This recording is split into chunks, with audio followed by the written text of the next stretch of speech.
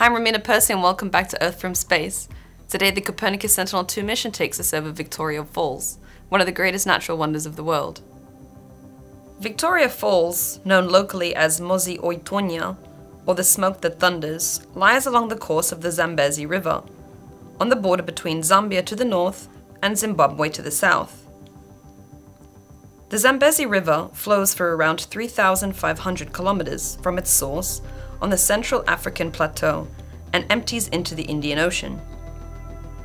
In this image, the river cuts from left to right before plunging over Victoria Falls, visible as a white line.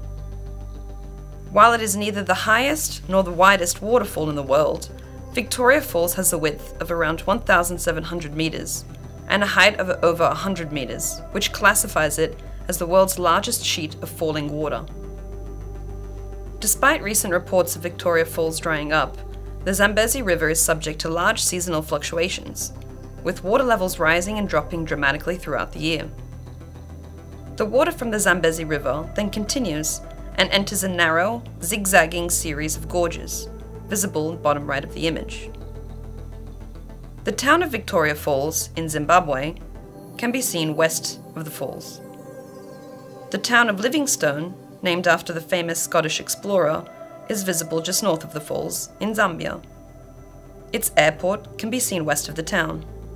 The circular shapes in the image are an example of an irrigation method called pivot irrigation, or center pivot irrigation, where equipment rotates around a central pivot and crops are watered with sprinklers. The Copernicus Sentinel-2 is a two-satellite mission. Each satellite carries a high-resolution camera that images Earth's surface in 13 spectral bands. Data from the Copernicus Sentinel-2 can help monitor changes in land cover.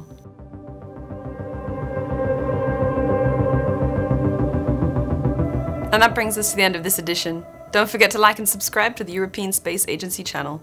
I'm Romina Persi from ESA Web TV Studios and thank you for watching.